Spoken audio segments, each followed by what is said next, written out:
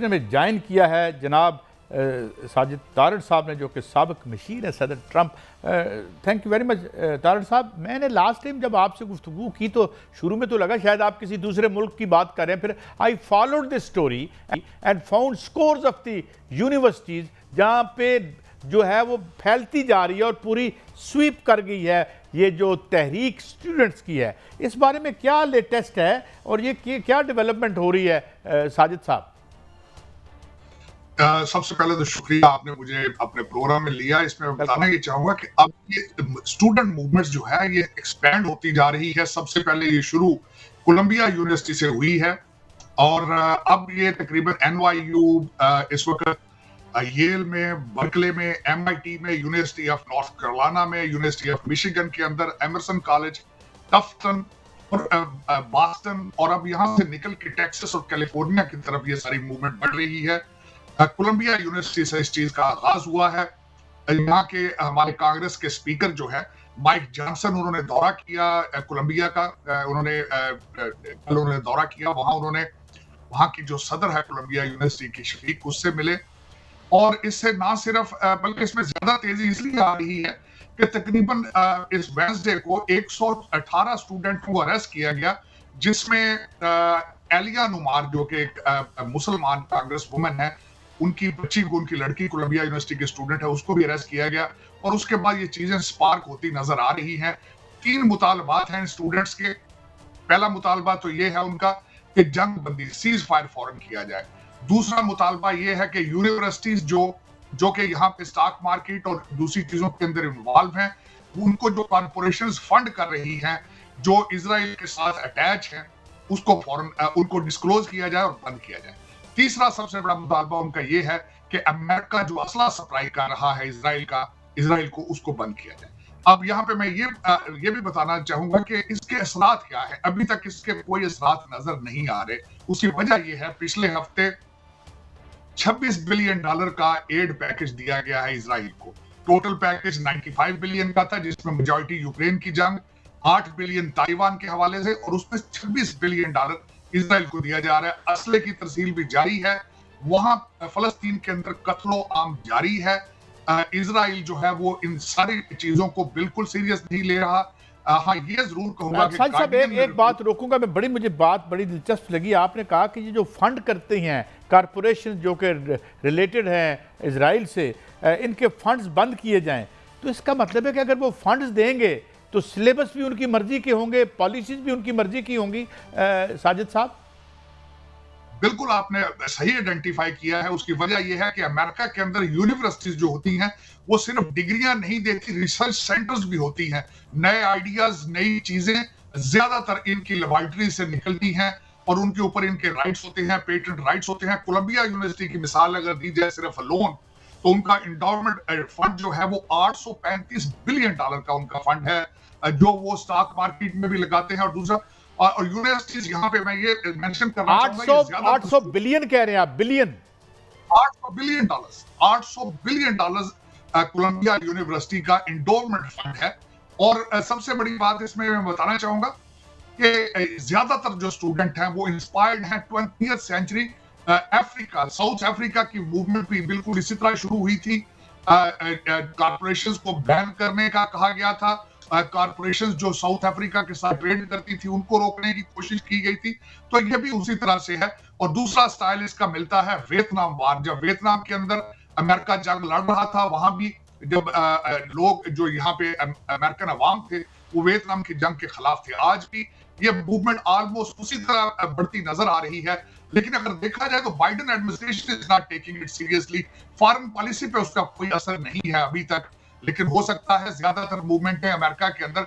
इसी तरह यूनिवर्सिटी से निकली है। हो सकता है ये मूवमेंट इससे ज़्यादा एक्सपैंड कर जाए लेकिन दुख वाली बात यह है कि चौंतीस हज़ार से ज़्यादा लोग, जिसमें ज़्यादातर खातन और बच्चे हैं, उनका कत्लेआम जारी है। ये एक अफसोसनाक बात अच्छा फिर तारड़ साहब, ये तो इसे अगर मैं अभी अभी मेरे जहन में आई, ये तो फिर एक इंटेलेक्चुअल एम्पीरियलिज्म भी है। वैन ये फिर ये बिज़नेस के इदारे बन गए या ये ये इल्म की तरवीज तदरीज क्रिएशन के हैं बल्कि ये जहनों को कंट्रोल करके ये ये ये ब्रेन वॉशिंग के इदारे बन यानी ये गलत समझाऊं मैं या सही समझाऊं? आप, आप बिल्कुल ठीक कह रहे हैं। इस वक्त अगर देखा जाए अमेरिका के अंदर तालीम एक कारोबार है। आप सोच नहीं सकते जो कि दुख का एक एक एक अफसोसनाक वाक्य एक अफसोसनाक चीज़ है। हेल्थ को हॉस्पिटल्स को और एजुकेशनल इंस्टीट्यूशंस को सियासत से या मुनाफा कारोबार से दूर होना चाहिए। लेकिन अगर देखा जाए तो इस वक्त ये यूनिवर्सिटियाँ जो हैं, ये पूरी एक बिज़नेस एंटरप्राइज बन चुकी हैं और ये एक अफसोसनाक बात है। यहाँ पे नए आइडियाज़ आप देखें तो ग्रो करते हैं, चीज़ें बनती हैं हार्वर्ड में, प्रिंसटन में, येल में, इनकी लैब्स के अंदर। और आपने देखा होगा कि हाईली इंटेलेक्चुअल लोगों को लिया जाता है। एक खास मेरिट के ज़रिए इम्तिहान के ज़रिए और नए आइडियाज़ आप देख लें, जुकरबर्ग देख लें, आप माइक्रोसॉफ्ट देख लें, ये सारी चीज़ें गूगल देख लें तो सारी कहीं ना कहीं ये हाईली इंटेलेक्चुअल लोगों ने इन यूनिवर्सिटियों के अंदर बैठ कर ही बनाई है। लेकिन आज अगर देखा जाए तो वो एक सरापा एहतजाज है फलस्तीन के खिलाफ, लेकिन दूसरी तरफ़ में एस्टेब्लिशमेंट और पेंटागान की उनकी सेहत पे कोई असर नहीं है। वो जिस तरह कहते हैं, ये एहतजाज करते रहें वो फंड करते रहेंगे असला भेजते रहेंगे।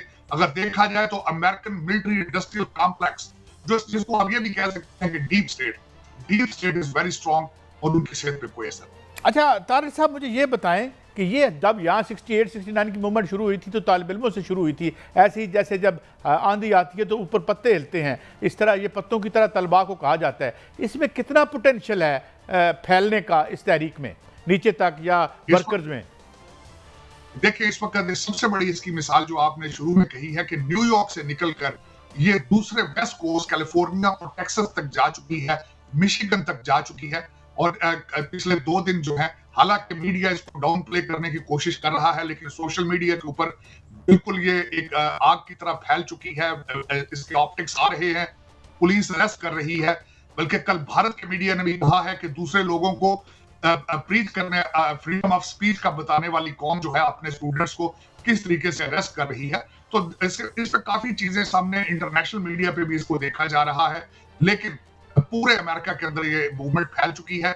न्यूयॉर्क से निकलकर वेस्ट कोस्ट टेक्सास और मिशिगन आप आप खुद ही अंदाज़ा लगा लें कि कोई जगह बची नहीं नॉर्थ कैरोलिना टेक्सास हर जगह पहुँच चुकी है। और स्टूडेंट जो है और कई यूनिवर्सिटियाँ शट डाउन कर दी जा चुकी हैं। और दूसरा कई इम्तहान जो है उनको ऑनलाइन ऑनलाइन लेने का प्रोग्राम बनाया जा रहा है। तो इस big interruption people are now paying tension और आपने देखा होगा कि दुनिया के हर कैपिटल के अंदर आ, सारे लोग मैं समझता हूँ निकल के बाहर आए हैं और एहतजाज कर रहे हैं सनापा एहतजाज है। आ, मैं समझता हूँ ये इंसानियत की सबसे बड़ी एक तोहीन है कि सारी दुनिया एक तरफ़ पर है और एक कंट्री जो है जिसकी टोटल पॉपुलेशन ही कुछ बिलियन है वो अपनी मनमानी पे वो कर रहा है। अमेरिका की लाचारी देखें कि उसको पैसा भी अमेरिका दे रहा है, असला भी अमेरिका दे रहा है, लेकिन वो अमेरिकन लोगों की ख्वाहिशात का कोई उन्हें एहतराम नहीं। अच्छा मैं अगर ये कहूँ तारक साहब के ज़ाहिर है एक एक्यूमुलेटेड एंगर है और एक कोई ना कोई वजह बन जाती है इस तरह की तहरीकों की, मगर ये जो इकनॉमिक प्रेशर्स आ रहे हैं इन्फ्लेशन की वजह से, आवाम पर, और वो जो एक पॉलिटिकल लीड से नाराज़ भी लगते हैं लोग, ये जो तो ये उसका भी एक रिएक्शन हो सकता है कि इसमें लोग शामिल हो रहे हैं इस काज में? बाइडन एडमिनिस्ट्रेशन जो है, वो इस वक्त बिल्कुल बुखलाट का निशान है नर्वस है। सबसे बड़ी मिसाल ये है कि इस वक्त, इस साल जो व्हाइट हाउस के अंदर इफ्तार पार्टी उन्होंने की, उसमें मुसलमानों ने शिरकत नहीं की। सिर्फ़ एक फलस्तीनी डॉक्टर को इनवाइट किया गया और उसने भी मैं कहता हूँ, बड़े कमाल अंदाज से वहाँ एहतजाज किया। वो वो गाजा से एक बारह साल बच्ची का लेटर लेकर आए थे, जो उन्होंने बाइडन साहब के हाथ पे रखा और खाना खाए बगैर वो बाहर निकल गए और बाहर निकल के उन्होंने मीडिया को बताया कि this is what is going on तो मैं समझता हूँ कि अगर ये सोचा जाए कि लोग इस पे रिएक्ट नहीं कर रहे रिएक्ट रिएक्शन हो रहा है बाइडन एडमिनिस्ट्रेशन के दुनिया खिलाफ है, बिलखसूस यंग वोटर्स खिलाफ है, मुसलमान खिलाफ है और अगर इलेक्शन फेयर हुए तो जो बाइडन साहब इलेक्शन नहीं जीत पाएँगे और उसकी सबसे बड़ी वजह ये गाजा वार होगी अपनी फॉरेन पॉलिसी की फ्लोर होगी बॉर्डर का कंट्रोल ना होना रेड सी का कंट्रोल ना होना और फॉल ऑफ़ काबल ये सारी चीज़ें बाइडन एडमिनिस्ट्रेशन को हांट करेंगी बिलखसूस गाजा के अंदर जो इस वक्त हो रहा है पूरी दुनिया देख रही है पूरी दुनिया सरापा एहतजाज है और इसका इसको कास्ट करेगा कि जो बाइडन साहब को it, will cost them a.